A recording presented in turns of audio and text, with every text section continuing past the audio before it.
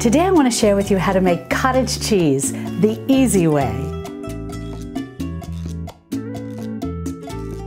Hi sweet friends, I'm Mary and welcome to Mary's Nest, where I teach traditional cooking skills for making nutrient-dense foods, including bone broth, ferments, sourdough, and more. So if you enjoy learning about those things, consider subscribing to my channel.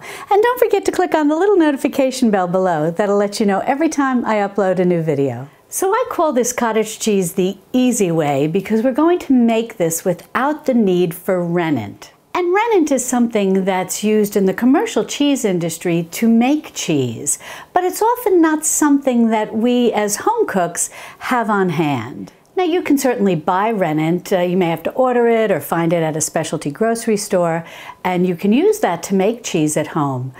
But for the most part, it's nice to be able to make cheese without having to worry about having that on hand. So today we're going to make cottage cheese using just milk and vinegar. Now, as I said, this is the easy cottage cheese. Is it exactly like the cottage cheese that you buy at the grocery store that may be made with rennet? No. But it's going to be very similar, and as I said, it's very easy to make. And cottage cheese, like a number of other cheeses, are what I think of as on sort of a continuum of cheeses that are made on the stovetop in a pot or a saucepan. And as a matter of fact, you may even have heard of old-fashioned pot cheese. And that's sort of on this continuum of cheese making at home, so to speak, uh, where you have cottage cheese, you have pot cheese, you have farmer's cheese, and you have ricotta cheese.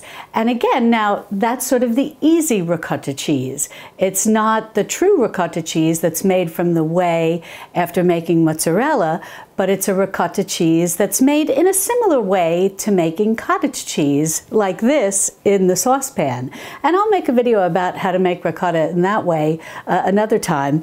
But I just wanted to give you that little sort of overall picture that these are all similar cheeses, easy made cheeses like the cottage cheese, the ricotta, the pot cheese, the farmer's cheese. And the only real difference is um, exactly what temperature you're going to warm the milk to, whether or not you're going to add cream, whether or not you're going to add salt, how long you're going to heat it for, what temperature, so on and so forth. So they're all slight variations and they produce a slightly different product.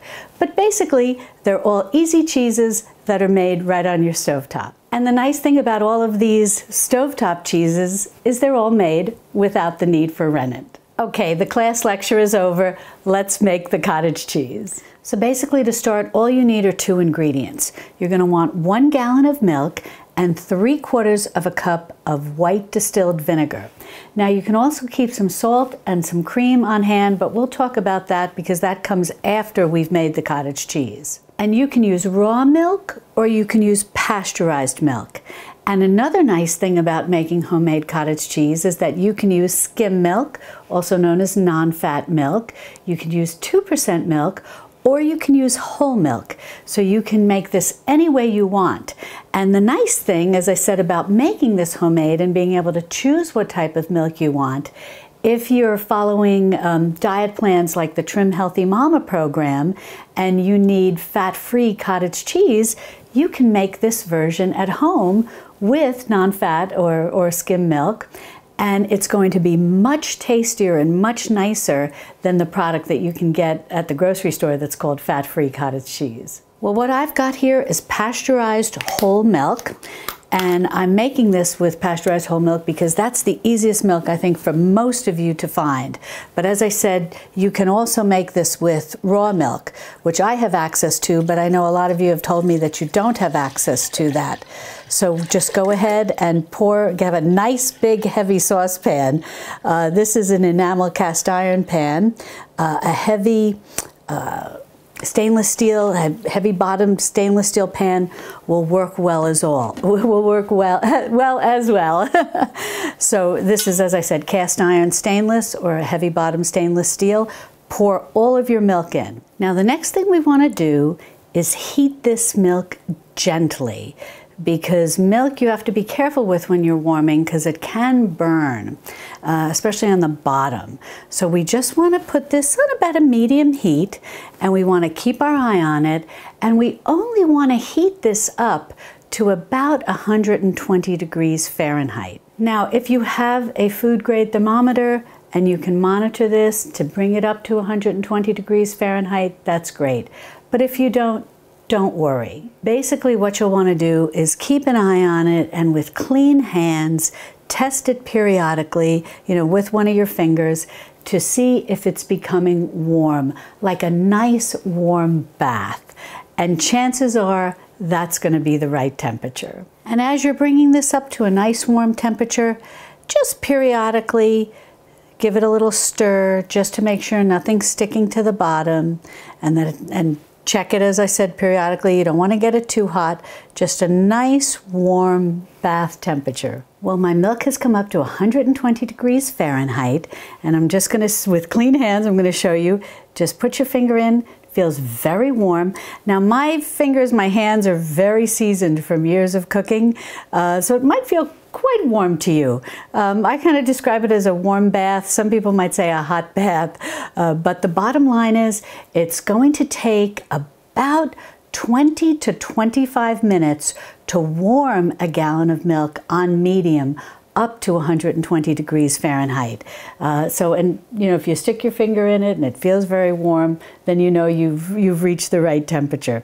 Once we get to that 120 degrees, we're going to remove this from the heat. Then we're going to take our three quarters of a cup of white distilled vinegar, and this is just the typical 5% acidity level vinegar that you'd find at the grocery store. And we're going to add this gently into our milk. Now, if you don't want to use vinegar, you can use lemon juice. However, the lemon juice gives more of a distinct lemon flavor instead of more of a uh, plain flavor that the vinegar imparts. And you're going to start to already see it begin to congeal. Now you just want to give it a little, very gentle mix around. And I'll take a picture from overhead so you can see how this looks. But you just want to stir it for about a minute, minute or two, and you want to do it very gently, and you're going to start to see it begin to curdle. Now all we're going to do is cover this pot and we're going to let this sit here for 30 minutes. While this is resting, I just want to say one thing about getting your milk to the right temperature. I don't want you to worry about that.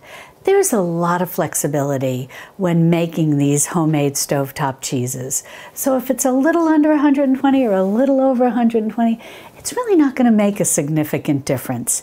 And even on that continuum, continuum of cheeses that I talked about earlier, uh, the worst case scenario is that if it's a little under 120, you'll get a slightly different texture, or if it's over 120 by any significant amount, maybe you went up to 180 or even 200 degrees, you'll get a little bit more of something that resembles a ricotta.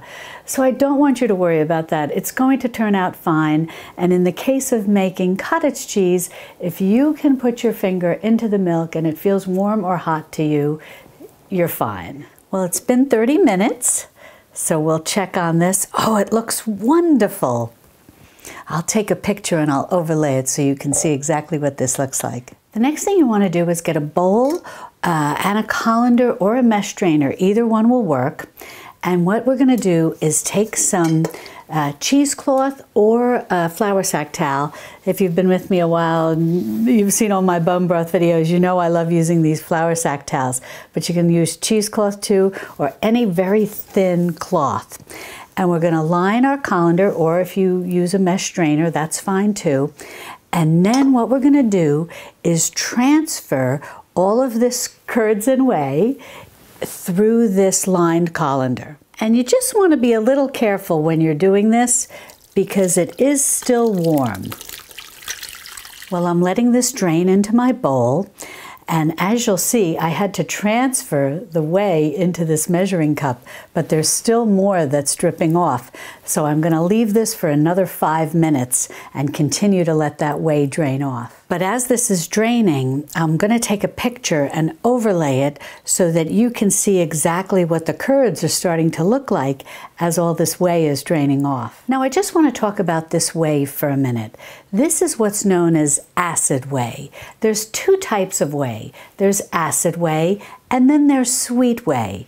Acid whey is what we get when we drain yogurt or we drain kefir or we make a soft cheese like the type of cheese the cheese we made today, cottage cheese, or any of the other stovetop cheeses. Stovetop cheeses that are known as soft cheeses. Sweet whey, on the other hand, is the byproduct of making hard cheeses or cheeses that are made where rennet is used. Sweet whey is very high in protein, and uh, you may have seen it sold in stores when it's dehydrated and sold under the name of whey protein powder. Acid whey, on the other hand, is a lot lower in protein, but don't throw it out. It's very rich in vitamins and minerals. And it can be used in place of pretty much any recipe where water is called for.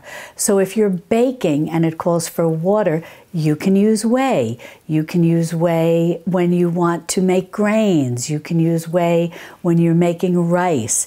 You can even use whey when you're making bone broth as your acid to help extract the collagen out of the bones and make a gelatinous bone broth. Now, acid whey is the type of whey that's used when you make ferments.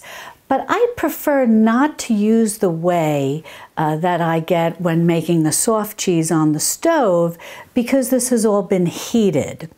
I prefer to use this in all the other uh, applications that I just mentioned.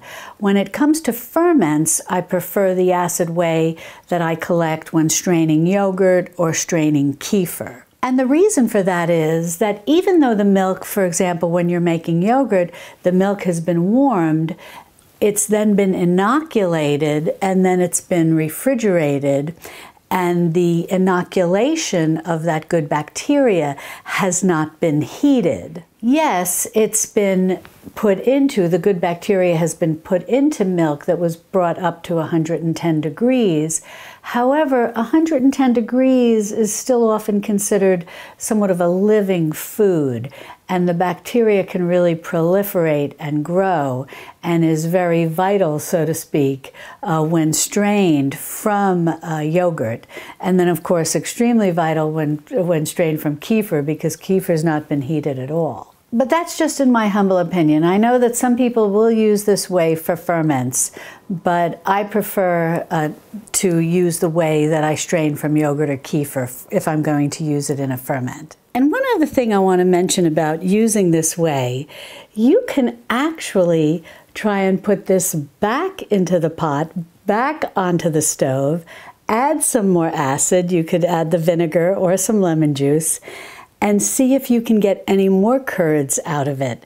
Now, the curds will be a little more similar to what you might, uh, or what might remind you of a ricotta cheese, but that's often fun to try to see if you can get any more uh, cheese out of this whey. Well, I let this drain for another five minutes. I got some more whey, and I'm going to overlay a picture so that you can see how beautiful this cottage cheese has turned out.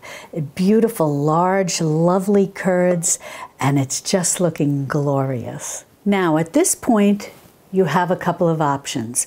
Some people like to put this up into a tight ball and then rinse it under cold water for about three to five minutes. I've never really found that step necessary. The reason for putting this up into a tight bowl and squeezing it to get out as much of the whey as you can and then rinsing it real well uh, in that tight bowl, I'll show you what I mean uh, by just pulling all of this up, is then to rinse out any vinegar taste. But I generally find with just using three quarters of a cup of the vinegar or even a full cup of the vinegar that my cottage cheese really doesn't have a, vinegar, a vinegary flavor. But if you want to take that step, you would just pull this into the into a bowl in your cheesecloth or your flour sack towel, give it a good squeeze to get some of that whey to keep draining off, and then put it under your tap and just turn on your cold water on your sink and rinse and rinse and rinse for about three to five minutes while you're squeezing, getting the water out and more of the whey. But what I find is that just by straining the cottage cheese, you have a beautiful texture as I'm showing you here. And, and I'll, I'll take a, an up close picture of this and I'll overlay it so that you can see it on the plate. But this is a lovely texture and we'll give it a taste, but I know from experience it has a lovely flavor and not one that I find vinegary. So I often skip that step. And also, too, I'm not a fan of washing this lovely product uh, with chlorinated water from my tap. And to try to rinse something for three to five minutes with filtered water, uh, especially I don't have an RO system or anything like that, uh, might become a little costly. Also, too, I find that when you squeeze it really tight and you rinse it very thoroughly, you wind up with a very dry product. And that's where the cream comes in handy. If you decide to take that step where you're squeezing and rinsing, you're going to wind up with a cheese that's much drier. You're going to want to break it up into curds, and then if you want to get it to have more of the consistency of what you're used to at the from what you buy at the grocery store, then you'll want to add in a little cream. And at that same time, you can go ahead and add in a little salt. Now, you can even go ahead and add in salt to this, but I find with the vinegar, uh, the taste is really quite lovely. So let's give this batch a taste. Mmm, it's perfect there's not a strong vinegar flavor at all, but the little tiny bit of tang that's left over is delightful, and I find that it really doesn't need any salt at all. So if you're on a salt restricted diet, this is a nice option because you really don't have to add any salt, and I don't even think you're going to miss the salt. Now, if you want, you can also still add some cream uh, to this unrinsed cottage version of the cottage cheese. Uh, it's really going to be just a matter of personal taste as to how close you want to get it to resemble what you might buy at the grocery store. But I highly recommend giving it a taste like this before you make any additions, because I think you're going to be very pleased. Now, whether you leave your cottage cheese just like this, as is, or you bundle it up and rinse it under tap water, either way, this is going to stay fresh in your refrigerator for about five to seven days. And your whey has a wonderful shelf life. This is going to stay fresh in your refrigerator for about six months. And if you freeze it, even longer, at least a year. So if you'd like to learn more about homemade dairy products, be sure to click on this video over here where I show you how to make homemade yogurt, no machine required. And I'll see you over there in my Texas Hill Country kitchen. Love and God bless.